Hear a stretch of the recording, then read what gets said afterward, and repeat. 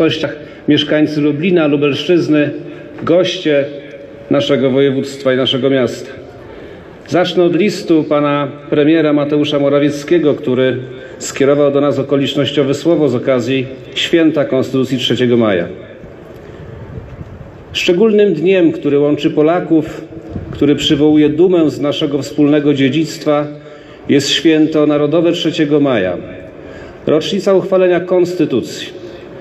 Wszystkim Państwu, organizatorom i uczestnikom wojewódzkich obchodów tego święta przesyłam serdeczne pozdrowienia. Konstytucja 3 maja powstała, jak pisali jej twórcy, dla dobra powszechnego, dla ugruntowania wolności, dla ocalenia ojczyzny naszej i jej granic. Ustawa zasadnicza uchwalona przez Sejm czteroletni zmieniała organizację władz państwowych, regulowała prawa i obowiązki obywateli. Znosiła także formalnie zasadę liberum veto, przez lata paraliżującą modernizację kraju. Mimo iż wkrótce po uchwaleniu ustawy Rzeczpospolita zniknęła z map Europy, Konstytucja z 1791 roku pozostaje symbolem poczucia odpowiedzialności za nasz kraj. Pozostaje symbolem polskiego dążenia do suwerenności. Szanowni Państwo, w tym wyjątkowym roku obchodów stulecia odzyskania przez Polskę niepodległości święto 3 maja nabiera dla nas wszystkich szczególnego znaczenia. Dumni stajemy przed dziedzictwem naszych przodków budujących lepsze jutro ojczyzny i razem kontynuujemy ich dzieło. Pamiętamy, że Polska to wielka rzecz i nasze wielkie zobowiązanie. Wyrażając radość i dumę z tego, że jesteśmy Polakami, jednoczmy się pod biało-czerwonymi barwami. Tylko razem możemy dokonywać wielkich czynów. Z wyrazami szacunku Mateusz Morawiecki, prezes Rady Ministrów. Przyłączam się, można bić brawo panu premierowi, tak jest.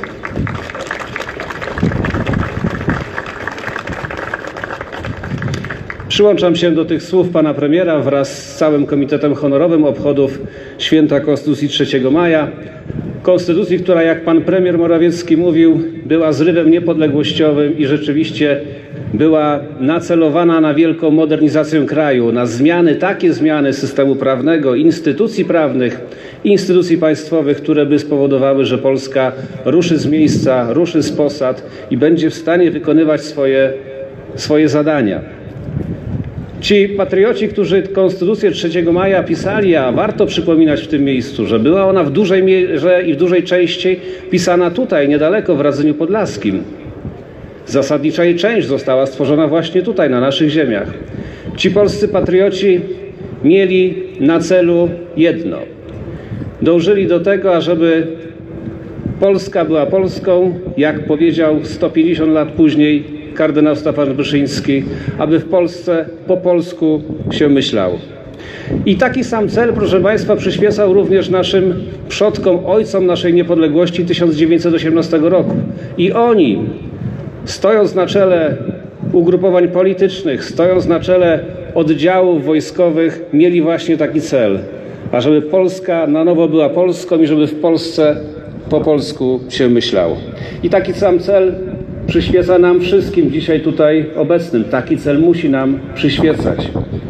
Musimy powtarzać za wspomnianym już prymasem tysiąclecia, że dla nas po Bogu największa miłość to Polska i choćby obwieszczono na transparentach wezwania do miłowania wszystkich ludów i narodów, nie będziemy temu przeciwni, ale będziemy zawsze żądali, aby Polska Polską była, w Polsce po polsku się myślało, aby w Polsce polski duch narodu chrześcijańskiego czuł się w swobodzie i wolności. O to walczyli nasi przodkowie przez ostatnie 1051 lat w różny sposób, na różnych polach, różnych okolicznościach i to musimy robić również i my dzisiaj. Ciesząc się i celebrując niepodległość Rzeczypospolitej, ciesząc się i celebrując fakt, że od 29 lat w tej Rzeczypospolitej niepodległej rozwija się suwerenny naród polski, ale też zauważając pewne zagrożenia na horyzoncie, pewne niebezpieczeństwa, pewne rzeczy, które bolą nas Polaków, zwłaszcza dzisiaj w setną rocznicę uzyskania niepodległości pewne przeinaczanie faktów, pewne zaklinanie historii, pewne wskazywanie na Polaków i Polskę nie jako największą ofiarę nazizmu niemieckiego i komunizmu sowieckiego, ale nawet jako kolaborantów. Robią to różni ludzie i za granicą, i w Polsce. Ostatnio robili to celebryci, których nazwisk przez litość, ale też przez szacunek dla ich dokonań artystycznych wymieniać nie będziemy w tym miejscu. Ale to my musimy właśnie im wszystkim powtarzać znów za prymasem tysiąclecia. Dzisiaj często spotykamy się ze zjawiskiem opluwania naszego gniazda.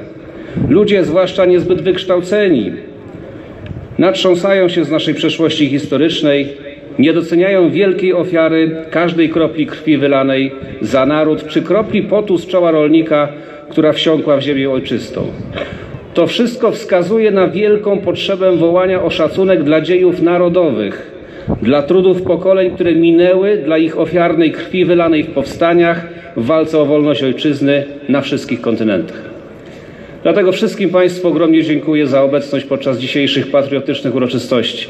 Dziękuję za obecność o 8.30 rano na Placu Litewskim, za składanie okolicznościowych wiązanek pod pomnikiem Konstytucji 3 maja, tak charakterystycznym miejscem dla Lublina od 1981 roku. Dziękuję za obecność podczas mszy świętej. Ogromnie dziękuję księdzu biskupowi za sprawowanie tej Eucharystii, za Słowo Boże i dziękuję za obecność tu na placu. Księży biskupie, Kościół z narodem, a naród zawsze z Kościołem. Tak to w Polsce było, jest i będzie i temu zawdzięczamy również tę niepodległość i suwerenność, którą dzisiaj celebrujemy. W imieniu Komitetu Honorowego życzę wszystkim Państwu radosnego świętowania 3 maja, uczestniczenia we wszystkich tych wydarzeniach, które są jeszcze przed nami i szczycenia się faktem, że wszyscy jesteśmy Polakami. Boże błogosław niepodległej Polsce, naszemu województwu, naszemu miastu. Dziękuję bardzo.